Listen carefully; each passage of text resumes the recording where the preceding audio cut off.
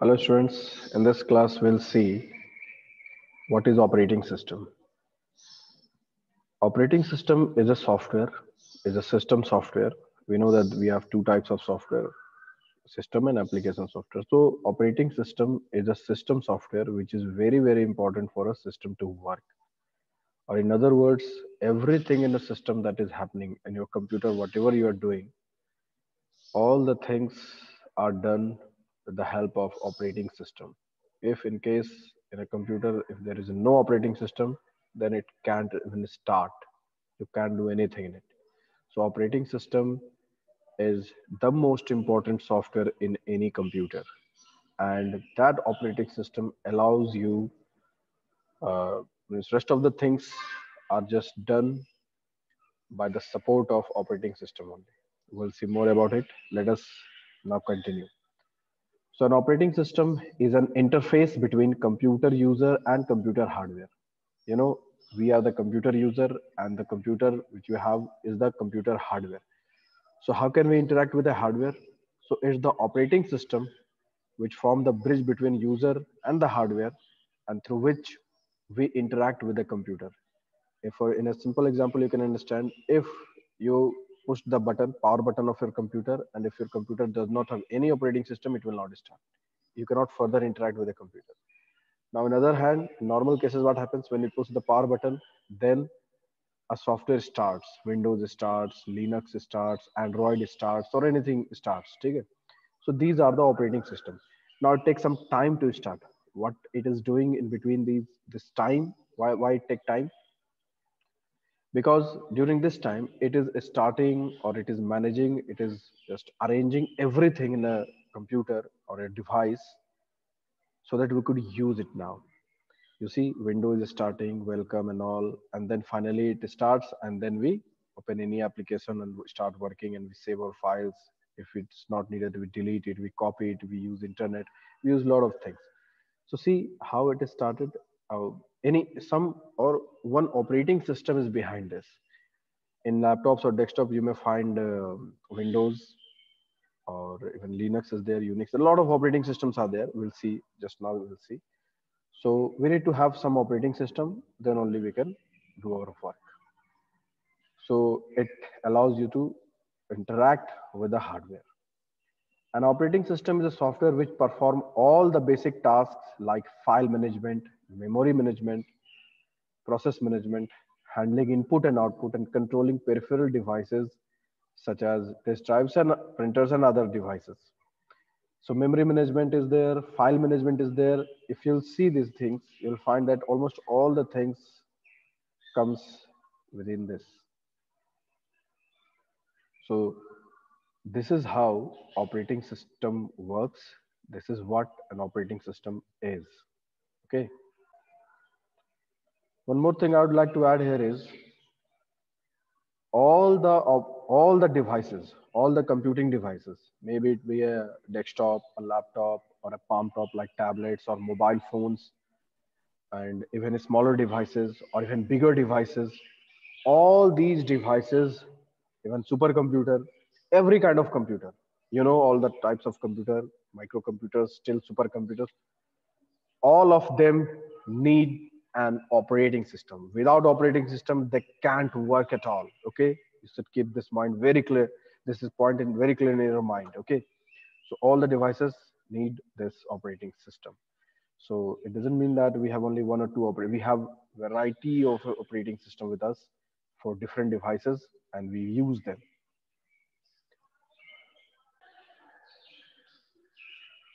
So let us so this is what, now let me show you the different operating systems. Look at this. Window is one of the operating system, the most widely used operating system over the desktops or laptops. Linux is another operating system. Unix is the variation of uh, Linux, you may say. It's a freeware. Freeware matlab, you can get it for free. Android is another operating system which you see in the normal smart general normal smartphones ios is another operating system for smartphones made by Apple company. Apple in Apple smartphones, we have iOS operating system. The same way Apple laptops have Mac OS in them. Ubuntu is another variation of uh, uh, Linux. So if you want to know more about the operating systems, then you may go further and just see a uh, lot of uh, lo the long list is there. You may just uh, give some time so you can get the idea behind the these all operating systems are there. Okay, so but otherwise the more most common operating systems are Windows, Linux, Mac, iOS, Android. These are the common operating systems. Now we'll see more about uh, need and function of operating system. Why do we need and what are the functions of uh, operating system? Okay, so let us see. Goal of operating system. The fundamental goal of a computer system is to execute user program and to make tasks easier. Beside everything, the main goal of operating system is to execute the user program user program means whatever program we wish to execute. As i said uh, if you are a if you are an engineer you'd like to have a program for engineering work. If you are an art, artist you need to have a program for video editing or for uh, photo editing. You have software. If you are an accountant there are a lot of softwares for accounting. If you are a writer you have ms word and other softwares for writing if you are a publisher then we have a lot of softwares for, so like this we have various softwares or programs but we need we need to have what? An operating system where these can run okay? And operating system makes our task easier okay? Various application programs along with hardware system are used to perform this work. Now try to understand various application program along with hardware system are used to perform the which work? This work, our task. This our task is done with the help of software as well as various hardwares are there to make our task easier. Operating system is a software which manage and control the entire set of resource and it effectively utilize every part of the computer. OS is designed in such a way that it utilizes optimally everything in the system, in the computer. So this figure shows how act, uh, the OS acts as a medium between hardware unit and the application program. This is user one, two, three. This, we are the user. And this box indicates the system and application program. These are various system program and application programs. This database is an application program text editor is an application program, assembler and compiler the system program. So these are various programs. And then operating system comes and then hardware comes. So we, this way, interact with hardware. And operating system is the bridge between uh, everything that is happening. So uh, operating system is very important. Need of operating system. Why we need operating system. OS as a platform for application program. As discussed, operating system provide a platform on top of which other program called application program run. Since for any application program, we must have operating system and over it only the application works. And yes, we have different operating systems. So why we have different operating system? Now, the simple answer to this uh, question may be, we have varieties of cars with us. There is not only one company which is making car. And we have different choices somebody like mercedes somebody like audi somebody like maruti somebody like tata. So we have different choices and the same way we have different choices for the operating system. Whichever operating system you like to use you just have it from market. You can purchase it. So that's how. But all the vehicles the same way all the vehicles are almost similar the same way all the operating systems are also similar. Means if you have uh, if you are habituated with windows operating system then you will find mac os also easy to use if you are working with android then you can find uh, blackberries os also uh, just quite familiar they are all similar it acts as an interface between the computer and the user it is designed in such a manner that it operates, control, and executes various applications on the computer. So why we need operating system? To run different application programs, okay? For managing input output unit, operating system also allows computer to manage its own resources such as memory, monitor, keyboard, printer. All kind of input output unit is also managed by the operating system, everything that you see. Consistent user interface. Operating system uh, provide user an easy to work user interface. It means that when you start Windows operating, so what do you find? You find everything in the front, you double click something and open it and work it, work with it. So operating systems are designed in such a way that any user should not find it very tough to work with. They are designed to in such a way that anyone can interact. Now, see now, a smartphone. Let's take a, a smartphone, Android operating system. All kind of people are running the smartphone. All those who have studied, who are who are illiterate, they also operate the operating system. Why they can operate that kind of machine? Because that is designed in a simpler way. The, this is made in a simple way, so so that they could uh, easily, I mean, operate that. So why it is because because of the interface they are providing to us. So this is another reason we need operating system for handling the device uh, easily. So multitasking. Another thing is operating system manage memory, memory and uh, allow multiple programs to run in their own space. This simply is telling it is the operating system which allows a computer to handle multitasking. At one time, we can do a lot of things. Like now, I'm just uh, using internet.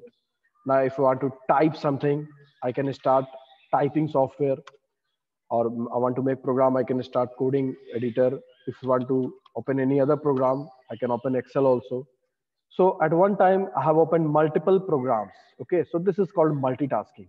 More, it, this is the operating system which is allowing to open multiple programs.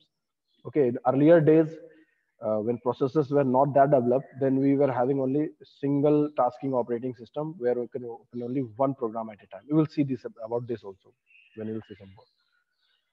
So let us see some more about function of operating system. Processor management.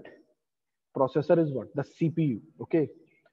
So how it manages? Look, this deals with management of central processing unit the operating system take care of allotment of CPU time because we have in normal microcomputers, we have one CPU and uh, we have a lot of things to work. So how the CPU gives time to all the works in multitasking if you're working with a lot of programs. So it is the operating system which take care of these all these things. So the operating system take care of the allotment of CPU time to different processes. Processes means the different tasks that we are doing. When a process finishes its CPU, its CPU processing after execution of the allotted time period. This is called scheduling.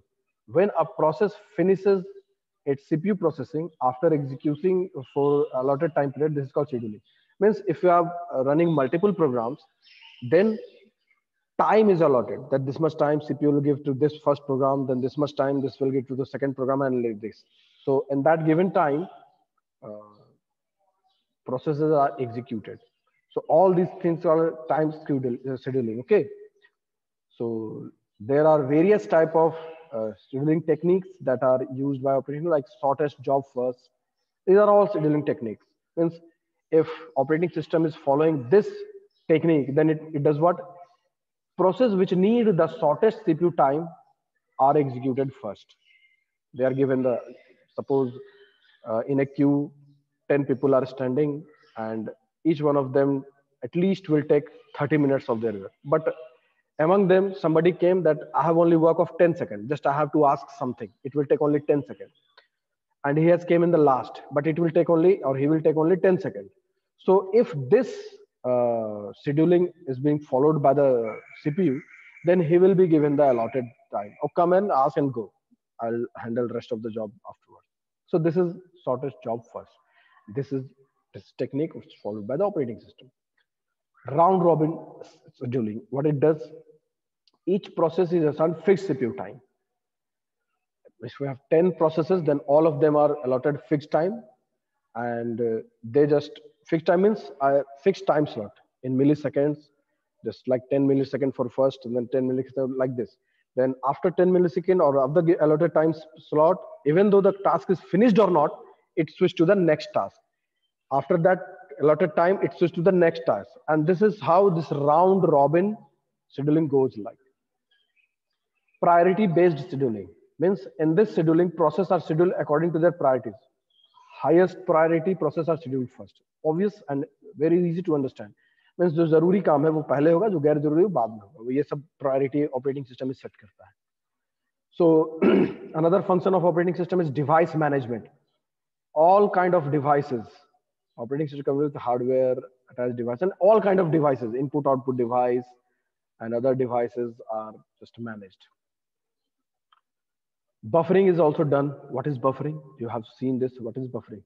In this technique input and output data is temporarily stored in input buffer or output buffer. If something has to be inputted or something has to be outputted, then once the signal of input or output is sent to or from the CPU, means if a CPU wants some kind of input or CPU wants some kind of uh, output, then the signal for input or output is sent from the CPU. Then the operating system through the device controller moves the data from input device to the input buffer. We are using a keyboard for inputting, then whatever we are typing, it directly doesn't go to the uh, CPU. While we are inputting, CPU is doing some other work, but the input we are doing goes to the input buffer that stores the input. And for the output device to the output. And if somebody we want to uh, send for output, like for uh, in printer, if you want to or even in a uh, monitor, then basically in printer, if you want to print something, 100 jobs I want to give or 10 jobs to print, then it keeps in the output buffer and one by one it prints. So means this is how the input buffer is some space where it keeps the things. It buffers and keeps the things. Spooling. it means simultaneous peripheral operation on line. What is, does this mean? Let us read it. This is a device management technique used for processing different tasks on the same input device or output device. अलग अलग task एक ही input output device है when there are various user on a network sharing the same resource अगर network में बहुत सारे user है एक ही रिसोर्स को शेयर uh, कर रहे हैं let us take example of printer then it can be possible that more than one user might give a command uh, at the same point of time तो हो सकता है दस लोग नेटवर्क में काम कर रहे हैं एक ही प्रिंटर है सभी लोग प्रिंट के लिए कमांड दे दिए then what so the operating system temporarily stores data of every user on the hard disk of the computer to which resource is attached and then individual user need not to wait for the execution To be completed instead the operating system send the data from hard disk to the resource one by one वो एक एक करके फिर printer को भेजते जाएगा printer अपना काम करते जाएगा यूज़र को टेंशन लेने ज़रूरत है अपना काम कर लेगा ठीक है अनदर इज़ मेमोरी मैनेजमेंट जहाँ पर हर तरह का मेमोरी चाहे वो सेकेंडरी मेमोरी हो चाहे वो प्राइमरी मेमोरी हो तो memory is managed so we'll see some uh, more points about operating system in our next class thank you for today